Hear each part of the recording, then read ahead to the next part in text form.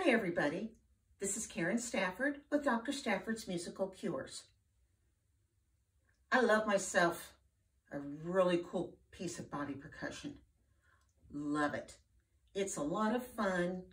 The kids think they sound cool when they get it down, and it's great if you don't have any instruments.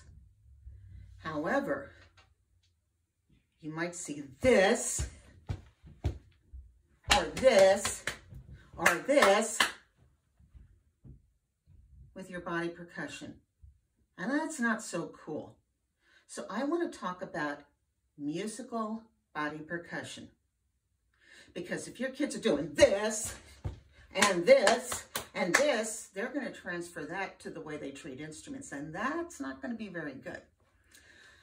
So first of all, think about body percussion not only being a piece to learn rhythm, learn how to keep together, but also a musical piece. If you have not looked up Keith Terry, you need to.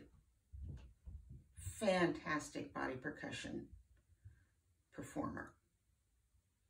You need to start it with your children and you need to demonstrate it yourself. And I will tell you, it took me quite a few years, even during my Orff levels of being fussed at. Hi, Chris and Brian. Being fussed at because I was clapping too hard or patching too hard. When I finally caught on, it just made made such a world of difference. So let's start with the stamp or the stomp, although stomp seems to relay an image of really getting rough. Sometimes the kids will do this up and down, two feet landing at the same time. Not cool. And you ask them why. Okay, go ahead and do it. How did that fit with everybody, with what everybody else was doing? Did that fit with the beat we established? What part do you think the stomp or the stamp has in this piece? Helping keep the beat. Let them figure out why. Let them figure out there's a practical reason so that you're not the bad guy. Let them take responsibility. So you can alter because usually the stamp part, it's not going to be a very fast rhythm. No more than a fourth of an inch or half an inch from the floor. Depending on their shoes and depending on the floor, they can use their toe or use their heel. I have carpeting, so can't really hear it. But it's got to be gentle and it's got to be even. And it usually accents what's coming up but it doesn't mean you have to put a hole in the floor to do it. The patch, again, it's like the instruments. It's got to be kept close. Consider the patching a real good way to learn how to transfer to a barred instrument. Chord bordun. Broken crossover. You can even be on one leg and, and alternate playing a quick repetitive rhythm. So use your body percussion as a way to think about transferring to instruments, even if you're not. In this piece that is coming up on Teachers Pay Teachers, Solar Sensation, I have body percussion that's going to be transferred to a drum it's to different parts of the drum.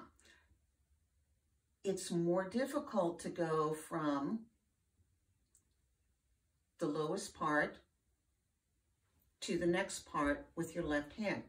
So we have to start with the right hand. Think about that when you're doing body percussion with your students. Is there an easier hand to start with? And why do you think so? If the student can play it musically and they can start with either hand, that's fine. They have to find the routine and the technique that works for them. but it's got to be musical. Same thing if you incorporate this. They're not Tarzan. Clapping.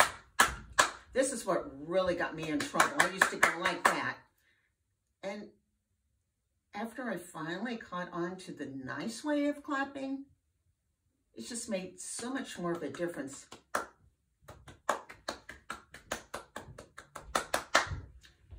Because you can add a little choreography to it. But basically, I tell my kids to keep one hand still as much as possible and let the other one do the work. Much easier to do quick rhythms. The snap, you know, you don't want the arm wave or anything, just that, but what if your students can't snap? You have enough of them, probably, that they can do the best they can, because even sometimes mine doesn't come out very well just because of too much piano and flute playing in my ears. It's Sometimes it slips. But if they're really determined to make a sound, sometimes depending on the student, I have added a tongue cluck. That often opens up problems. So you're going to have to determine based on your class what's going to work. Ask your kids to brainstorm. Maybe they can do a pat somewhere else, or if you're not doing this, they can do that, or a head pat or something, so that they feel like they're making some kind of sound. And don't shy away from body percussion. Introduce it, if you're using a book, introduce it a part at a time, and then layer it just like you would an Orff piece. If you have body percussion that you do, I would love for you to share the video. I will not share it unless I'm given permission to, but I would just like to see what's going on out there. And as a shameless self-promotion, take a look at From Body to Bucket Solar Sensation, which is brand spanking new on Teachers Pay Teachers. Or just send me a video of your kids doing another piece.